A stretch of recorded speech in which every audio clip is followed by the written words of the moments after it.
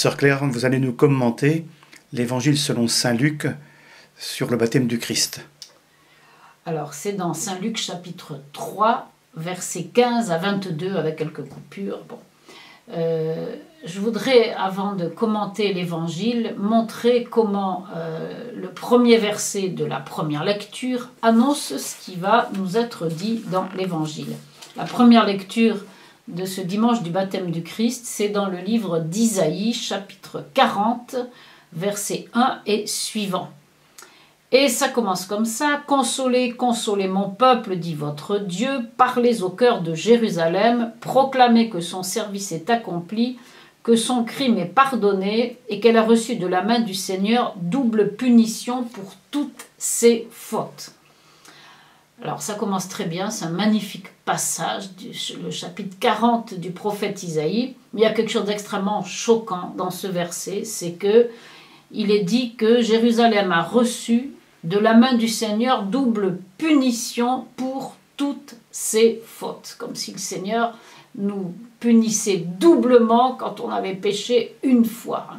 Donc cette, cette traduction est franchement euh, mauvaise, même si elle est répandue à peu près partout, enfin pas dans toutes les traductions quand même, mais euh, elle s'appuie, je ne sais pas, sur euh, certains passages de la Bible où il est dit que le voleur sera puni deux fois, mais elle oublie de s'appuyer sur ce qui est dit, par exemple, dans le prophète Zacharie chapitre 9, verset 12, où il s'agit d'un contexte aussi de renouveau, de, résurrection, de retour.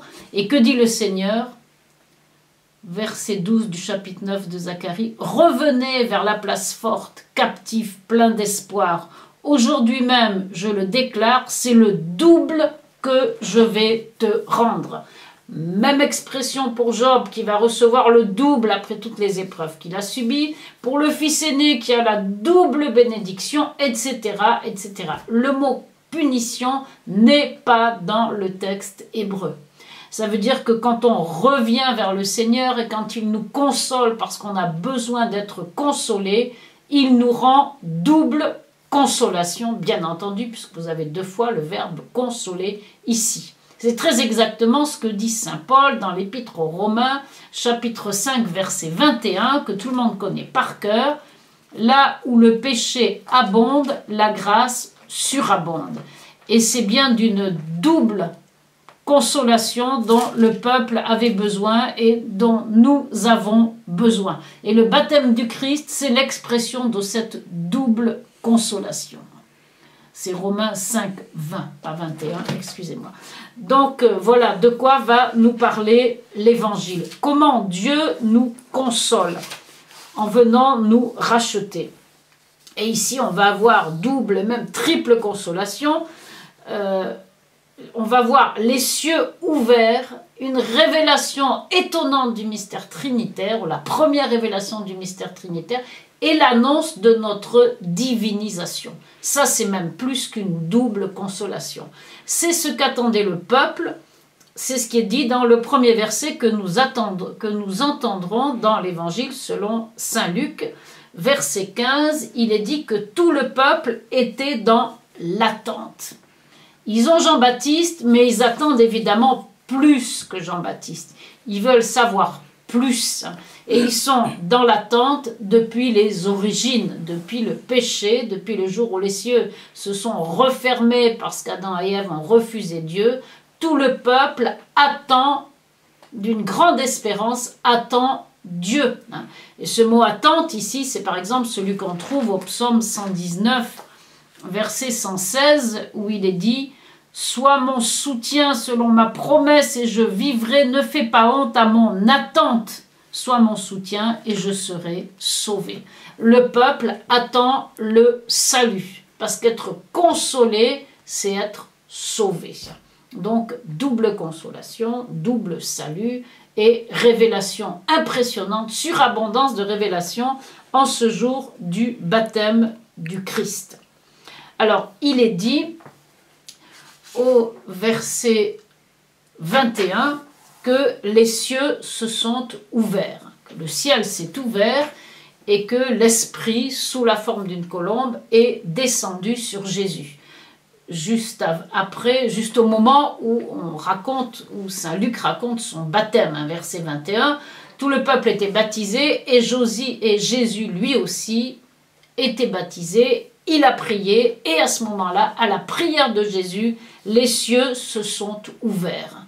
C'est-à-dire ce passage d'Isaïe, par exemple, mais il y en a beaucoup d'autres, où il est dit Ah, si tu déchirais les cieux et si tu descendais, ce passage d'Isaïe voit l'accomplissement dans le baptême du Seigneur. C'est Isaïe chapitre 63, verset 19. Nous ne sommes plus depuis longtemps des gens sur nous sommes pardon depuis longtemps des gens sur qui tu ne règnes plus et qui ne portent plus ton nom. Et voilà l'espérance. Ah, si tu déchirais les cieux et si tu descendais, voilà l'attente.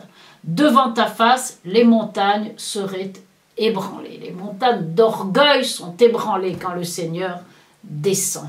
Donc ici, il est dit que les cieux se sont déchirés, ou plutôt le ciel s'ouvrit après que Jésus priant eut été baptisé. Et non seulement il y a les cieux ouverts, mais il y a l'annonce de la révélation trinitaire. Il est dit que l'Esprit Saint descendit sur Jésus sous forme d'une colombe et qu'une voix est venue du ciel. Jésus le Fils, l'Esprit Saint comme une colombe et la voix du Père, le Dieu invisible les pères de l'Église ont beaucoup médité sur euh, ce grand mystère. Je vais vous lire un texte de Saint Pierre Chrysologue, évêque de Ravenne, mort en 450. Aujourd'hui, l'esprit plane sur les eaux dans l'apparence d'une colombe. Comme la colombe de Noé avait annoncé que le déluge avait pris fin pour le monde, la colombe annonce ici que le naufrage du monde a cessé définitivement. Voilà la grande consolation du baptême, hein, une des grandes consolations. Le naufrage du monde a cessé définitivement. Les cieux se sont ouverts et ne se sont plus jamais fermés. On a de nouveau accès à Dieu pour qui le veut. Hein. La communion avec Dieu est de nouveau rendue parfaitement possible et d'une manière exceptionnelle. Autre texte de notre évêque, Saint Grégoire de Naziance, évêque de Constantinople, mort en 390. Jésus remonte de l'eau, entraînant et élevant le monde avec lui, et il voit les cieux ouverts, ces cieux qu'autrefois Adam avait fermés pour lui et pour les siens, et ce paradis qui était comme scellé par un glaive de feu. Et l'Esprit de Dieu rend témoignage avec le Père, et une voix descend du ciel. Vous voyez euh, cet immense mystère du baptême du Christ. Révélation de Dieu qui est Père, Fils et Saint-Esprit. Et je parlais tout à l'heure de divinisation parce que la révélation du mystère trinitaire est la révélation aussi de ce qui nous attend, être plongé dans l'amour trinitaire pour devenir un avec le Dieu un. C'est ce que Jean-Baptiste avait annoncé quelques versets avant. Quand Jean-Baptiste disait, verset 16, Moi je vous baptise dans l'eau, ça veut dire je vous baptise dans votre désir de reconnaître vos péchés, mais lui vous baptisera dans l'Esprit Saint et le feu. L'Esprit Saint et le feu, c'est Dieu lui-même. Être baptisé dans l'Esprit Saint et le feu, c'est être plongé en Dieu, être divinisé. La nuée du désert qui représentait Dieu était à la fois couvrait le peuple comme l'Esprit Saint et était une nuée de feu, comme il est dit au chapitre 13 de l'Exode, verset 22.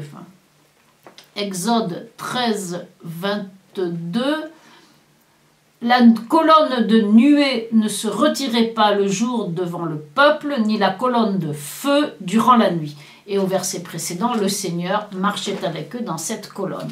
Et Saint Paul va nous dire qu'on a été baptisé dans cette colonne de nuée. Au chapitre 10 de la première épître aux Corinthiens, je ne veux pas, premier verset, je ne veux pas que vous l'ignoriez, frères, nos pères ont tous été sous la nuée tous sont passés à travers la mer, tous ont été baptisés en Moïse, dans la nuée et dans la mer. Bon, pas le temps de commenter tout ça, mais on voit bien qu'à travers le mystère du baptême du Christ, Jean-Baptiste annonce ce qui nous attend, de même que le Christ a été plongé en nous en étant plongé dans les eaux du Jourdain, de même, le baptême que nous recevrons dans son nom sera une plongée en Dieu. Et voilà encore cette double consolation ou cette double espérance euh, qui est annoncée à travers le mystère du baptême du Christ. Je vous lis encore un autre texte hein, sur ce mystère trinitaire. Alors là, il s'agit de Didyme d'Alexandrie, appelé aussi Didyme l'aveugle, mort en 398. Nous avons trouvé cette Trinité auprès du Jourdain, étincelante dans sa gloire, lorsque notre Sauveur fut consacré par l'onction, car le Père du haut du ciel proclamait le Fils. Le Fils sur terre accomplissait l'œuvre du plan divin, le Saint-Esprit marquait de son sceau cette célébration sainte et cette perfection digne de Dieu. Aussi, en ce jour du baptême du Christ, devant ce texte de, Saint Luc qui est, qui très court, hein, vous avez une abondance de mystère, une abondance de sens, une abondance de révélation sur qui est Dieu. Et euh, qui est Dieu? Alors la fin du texte nous le suggère nous rappelle plutôt que Dieu n'est qu'amour. Parce que la voix de Dieu se fait entendre et qu'est-ce qu'elle dit? Tu es mon fils, mon bien-aimé, et je t'aime. Ou autre possibilité, tu es mon fils, mon bien-aimé, aujourd'hui je t'ai engendré. Et à travers cet aujourd'hui, on comprend l'éternité du Fils. Il est engendré hier, aujourd'hui et demain. Il est le bien-aimé du Père hier, aujourd'hui et demain. Et on est appelé à entrer dans ce mystère et à rendre grâce. Et je voudrais terminer avec un texte de Jean-Paul II qui a choisi le baptême du Christ comme le premier mystère lumineux dans la récitation du rosaire. Et voilà ce qu'il dit le caractère messianique de Jésus se révèle clairement dès le baptême au Jourdain, où il vient comme agneau de Dieu pour se charger des péchés du monde et les effacer. Nous qui avons fêté Noël, le grand événement de l'incarnation, nous sommes appelés à reconnaître en Jésus le visage humain de Dieu et le visage divin de l'homme. Voilà le mystère du baptême. Et Jean-Paul de termine en disant Marie est un maître inégalé de contemplation. Et le baptême du Christ constitue le premier mystère lumineux pour la Vierge, comme pour l'Église tout entière, puisse-t-elle éclairer le chemin de tout chrétien. Sœur Claire, merci.